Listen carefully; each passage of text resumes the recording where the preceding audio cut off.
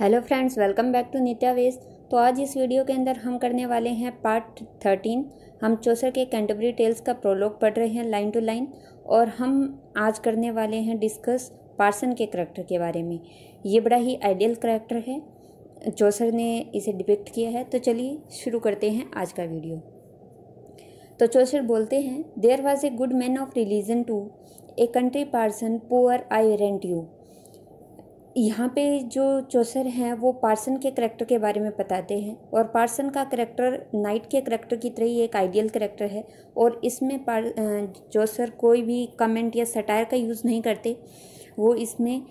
एक रियल जो आइडियल जो व्यक्ति होता है, एक आइडियल जो पादरी होता है, एक रिलीजियस पर्सन होता है, उसके करेक्टर को इन्होंने यहाँ पे शो किया है। तो चौसर कहते हैं कि यहाँ पर एक अच्छा व्यक्ति, एक धर्म का अच्छा व्यक्ति भी है। एक कंट्री पार्सन एक कंट्री पार्सन मतलब एक क्षेत्र का, एक एरिया का एक पार्सन है। पार्सन होता है जो चर्च के अंदर जो पादरी होते हैं, जो धर्म का प्रचार करते हैं। पुअर आई वारंट यू वो चौसर कहते हैं कि वो गरीब है, लेकिन यहाँ पे एक दो बातें पता लग गई हैं, उसकी क्वालिटी पता लगी है कि वो एक अच्छा आदमी एक धार्मिक व्यक्ति है। वो एक पार्सन, एक पादरी है और एक पुअर व्यक्ति है। वो मतलब फाइनेंशली उसकी कंडीशन ज़्यादा अच्छी नहीं है। But rich he was in holy thought and work लेकिन चौसर कहते हैं कि, लेकिन वो अपने विचारों से और अपने काम में बहुत ही धनी है। मतलब कि वो अच्छे काम करता है और उसके विचार भी काफ़ी पवित्र हैं और इसलिए उसके पास ये अमीरी है। He was a learned man also और वो एक लर्नड मैन है मतलब कि एक अच्छा समझदार व्यक्ति है, ज्ञानवान व्यक्ति है। एक clerk whose Christ's own gospel truly sought to preach ये चौसर बोलते हैं कि जो क्रिस्ट के वेद वाक्य गोस्पल होता है, वेद वाक्य या धर्म धर्म के अंदर लिखे जो वचन वाक्य होते हैं, जो धर्म की शिक्षाएँ हैं, उनकी बात की गई है गोस्पल उनको बोला गया है। चौसर बोल रहे हैं कि वो जो क्रिस्ट के जो वेद वाक्य हैं, उनको रियली मतलब वास्तव में वो उनको प्रीच करने मतलब उनको सुनाने के वो काबिल है। Devoutly his parishioners would he teach और वो अपने पेरिशनर्स जो उसके पास सुनने के लिए आते हैं, जो धर्म का संदेश सुनने के लिए जो व्यक्ति उसके पास आते हैं उनको वो बड़े ही डिवोटेडली मतलब बड़े ही लगन से, बड़े ही समर्पित भाव से वो उनको सुनाता है। धर्म के जो टीचिंग्स हैं, उनको वो अपने सिखाता है। Benign benign he was and wondrous diligent यहाँ पे भी उसकी क्वालिटीज़ बताई गई है। बिनेंग होता है उदार व्यक्ति व्यक्तित्व, कि उस वो बड़ा ही उदार व्यक्तित्व वाला व्यक्ति है। एंड वंड्रस डिलीगेंट वनड्रेस डिलीगेंट डिलीगेंट होता है कर्मठ व्यक्ति और बड़ा ही कर्मठ व्यक्ति है। मतलब उसे काफ़ी मेहनती है और उदार स्वभाव का व्यक्ति है। Patient in adverse time and well content और एडवर्स टाइम मतलब जब भी कोई भी उसके जीवन में विपरीत समय आता है, कठिन परिस्थितियाँ आती है तो उस समय वो बड़े ही पेशेंट मतलब धैर्य से काम लेता है एंड वेल कंटेंट और बड़ी ही समझदारी से सिचुएशंस को हैंडल करता है। As he was of time proven जिसे कि उन्होंने, आप अपने जीवन में जब भी ऐसा समय आया है, ऐसे समयों में उसने इस, अपनी इस क्वालिटी को उसने प्रूव किया है ऑलवेज ब्लीथ और वो हमेशा ज़िंदा दिल ज़िंदा दिल स्वभाव का एक व्यक्ति है. He was right loath to curse to get a tithe और वो किसी को भी तीर्थ होता है दसवां भाग. कोई भी जो हम अर्निंग करते हैं जो रिलीजियस टीचिंग्स होती हैं, जो रिलीजियस टीचिंग्स है हमारी किसी भी धर्म की, उसमें क्या बोला गया है कि जो हमारी अर्निंग है, जो भी हम कमाते हैं, उसका दसवां भाग हमें दान करना चाहिए, दीन दुखियों की मदद में लगाना चाहिए। तो टीथ उसी को बोला है और यहाँ पे लोथ होता है अन्य छुक। कि यहाँ पे जो सर बोलना चाह रहे हैं कि वो कि अगर कोई भी अपनी कमाई का दसवां हिस्सा नहीं देता है या मतलब अपना जो दसवां हिस्सा दान नहीं करता है तो वो किसी को भी बुरा नहीं कहता किसी को भी आ, कुछ भी गलत कहने का वो इच्छुक नहीं है वो अनिच्छुक है। बट और किसी का भी वो धन भी लेने का इच्छुक नहीं है। But rather would he give बल्कि वो किसी से लेता नहीं है बल्कि वो तो देता है। In case of doubt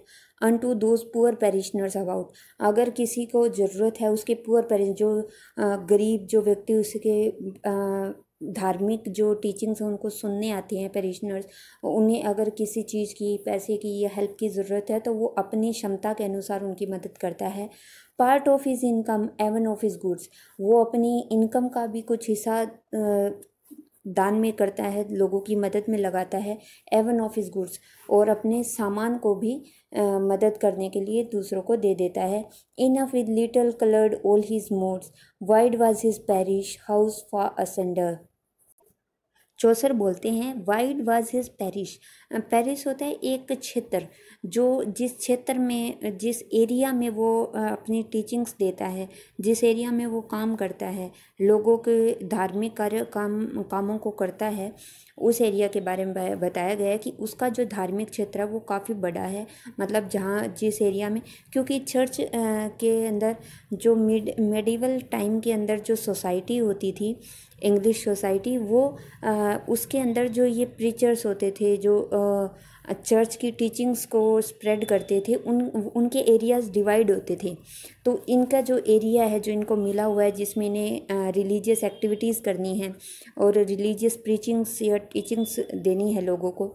तो उनके, उसके एरिया के बारे में बात हो रही है कि इनका जो एरिया वो काफ़ी बड़ा है वाइड है हाउसेस फॉर असेंडर और जो घर है वो काफ़ी अलग अलग दूर दूर हैं but never did he fail लेकिन वो कभी भी अपने काम को करने में या लोगों की वहाँ जाकर, उनके घर जाकर मदद करने में कभी भी फेल नहीं हुए, पीछे नहीं हटे। फोर रेन और थंडर चाहे बरसात हो चाहे तूफ़ान हो इन सिकनेस चाहे बीमार हो और इन सिन चाहे कोई आ, बुरे व्यक्ति या उनके बाधा डाले और एनिस्टेरिया कोई भी परिस्थिति हो to visit to the farthest. वो दूर तक भी गए हैं अपनी ड्यूटी को पूरा करने के लिए small and great. Small and great से यहाँ पर मतलब है ऐसे व्यक्ति स्मॉल मतलब जो पुअर व्यक्ति होते हैं सोसाइटी में पुअर पीपल्स। और ग्रेट जो रिच पीपल हैं सोसाइटी में, उनके बारे में बताया कि चाहे कोई गरीब है, चाहे अमीर है, वो सबके पास दूर तक भी अपने ड्यूटी को पूरा करने के लिए गए हैं गोइंग अ फुट वो पैदल जाते हैं एंड इन हिज हैंड और उनके हाथ में क्या रहती है? स्टेव स्टेव मतलब स्टेव होती है लंबी लाठी, कि अपने हाथ में एक लंबी लाठी लिए, वो पैदल ही दूर तक भी लोगों के घरों में जाते हैं, और वो ये भेदभाव नहीं करते कि वो जिन लोगों की मदद करने जा रहे हैं, वो गरीब है या अमीर है। This fine example to his flock he gave और फ्लॉक मतलब कि जो लोगों का समूह जो है इनका, उनको ये बड़ा ही अच्छा उदाहरण ये प्रस्तुत करते हैं। That first he wrought and afterward he taught कि पहले वो खुद अजमाते हैं पहले वो खुद धर्म की शिक्षा पर अमल करते हैं एंड आफ्टर वो हिटर और उसके बाद वो दूसरों को धर्म की शिक्षा देते हैं। Out of the gospel then that text he caught and this figure he added the two that if gold rust what shall poor iron do यहाँ पे कहते हैं out of the gospel gospel मैंने बताया था कि वेद वाक्य या जो रिलीजियस टीचिंग्स होती है उनको बोला जाता है कि जो इन्होंने जो रिलीजियस टेक्स्ट पढ़े हैं, उससे उन्होंने एक बात को, एक वाक्य को इन्होंने बड़े अच्छे से अपने जीवन में पकड़ा है। And this figure he added दे टू और उसके अंदर इन्होंने अपना ये सेंटेंस या अपना ये थॉट या वाक्य जोड़ दिया है।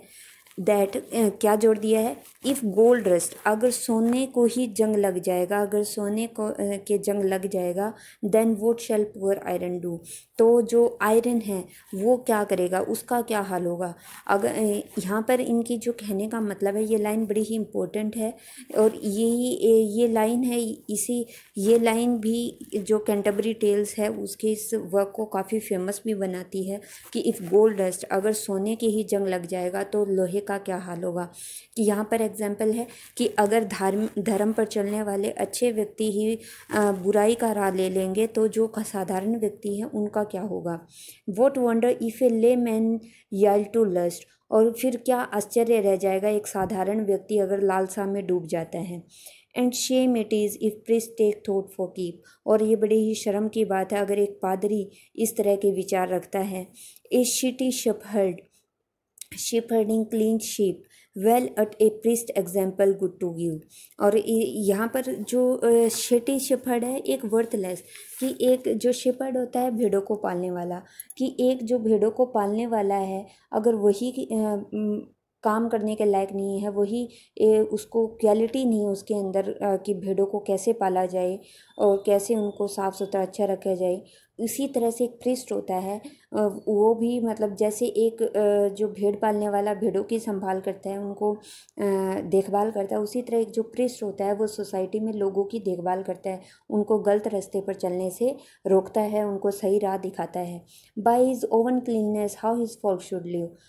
और अगर वो खुद साफ़ नहीं होगा, अगर खुद अच्छा नहीं होगा तो how his folk should live तो उसके जो फॉलोवर हैं, जो उसको फॉलो करते हैं, जो फ्लॉक हैं, वो कैसे रहेंगे? He never let his benefice for hire leaving his flock to flounder in the mire और चौसर बोलते हैं कि उसने अपने बेनिफिट के लिए, अपने फाइनेंशियल बेनिफिट के लिए कभी भी अपने जो फॉलोवर है, जो अपने एरिया के जो लोग हैं, उनको कभी भी उसने उनको कभी वो छोड़ कर नहीं गया, उनको कभी भी अनदेखा उसने नहीं किया। उनको संभाल उसने रखी है। Leaving his flock to flounder in the mire इस लाइन का मतलब होता है कि अपने जो फ्लॉक है, अपने जो लोग हैं, उनको ऐसे ही बुराई के दलदल में डूबने के लिए उसने कभी नहीं छोड़ा। And ran to London up to the old Saint Paul's to get himself a chantry there for souls यहाँ पे चौसर बोलते हैं और उन अपने एरिया के लोगों को छोड़ करके वो कभी भी लंदन की तरफ़ नहीं गया, लंदन नहीं गया, कहाँ पर? ओल्ड सेंट पोल के जो चर्च है, वहाँ पर नहीं गया, क्योंकि वहाँ पर क्या होता है कि जो पादरी लोग होते हैं टाइम टू टाइम जाते हैं और वहाँ जा कर के मेडिवल टाइम के अंदर वहाँ उस समय की बात हो रही है, उस समय वो जाते थे और वहाँ पर जा कर के वो लोग रिलीजियस टीचिंग्स जो थी वो लोगों को सुनाते थे और लोगों को माफ़ी देते थे उनके एविल्स के बारे में सुन करके और इससे उनको पैसा मिलता था। और पैसे के लिए वो लोग वहाँ पर जाते थे और उनको सुख सुविधाएँ भी मिलती थी। लेकिन चौसर कहते हैं कि ये एक आइडियल ये पार्सन है और ये कभी भी अपने लोगों को अकेला छोड़ करके वहाँ पर नहीं गए, बल्कि ये हमेशा अपने एरिया में रहते हैं, क्योंकि ये लोगों के घर जाते हैं, उनको धार्मिक शिक्षा देते हैं और कोई भी अपने गुनाह स्वीकार करता है तो ये उसकी सुनते हैं। तो इस तरह से इन्होंने ये मानते हैं कि ये अपने जो लोग हैं, उनको ये इस तरह से अकेला नहीं छोड़ सकते, वरना वो बुराई के रास्ते पर निकल जाएँगे। Nor in some brotherhood did he withhold but dwelt at home and kept so well the fold that never wolf could make his plans miscarry चौसठ इन लाइन्स में बोलते हैं कि वो अपने जो एरिया अपना जो घर है, वहाँ पर ही हमेशा रहते हैं और अपनी मज जो पकड़ है, जो लोगों के ऊपर जो ये धर्म की शिक्षा देते हैं, उन पर ये अपना जो होल्ड है, वो अच्छे से ये बना के रखते हैं। लोगों का ध्यान रखते हैं, उनको धार्मिक शिक्षा देते रहते हैं that never wolf could make his plans miscarry ताकि कोई भी जो दुर्त व्यक्ति है या कोई भी बुराई पे चलने वाले जो व्यक्ति हैं, वो उनके अपने प्लान्स को वहाँ पे एग्जीक्यूट ना कर सके, लोगों को भ्रमित ना कर सके, लोगों को गलत राह पर ना ले जा सके। He was a shepherd and not mercenary और उन्होंने उनके बारे में जो पार्सन है उनके बारे में चौसर ने ये लाइन बोली है कि वो एक शिफर्ड है। एक शिफर्ड की तरह है, एक मर्सिनरी की तरह नहीं है। मर्सिनरी होती है जो पैसे कमाने वाले लोग होते हैं। कहते हैं चौसर बोलते हैं कि वो पैसा कमाने वाला व्यक्ति नहीं है, बल्कि वो एक शिफर्ड है जो हमेशा अपने फोल्क, जो अपने शिप्स हैं, उनकी बड़े अच्छे से देखभाल करता है। And holy through he was and vicious to sin he was not impetuous no haughty in his speech, not too divine. यहाँ पे उनकी और क्वालिटीज़ के बारे में चौसर बोलते हैं कि उसके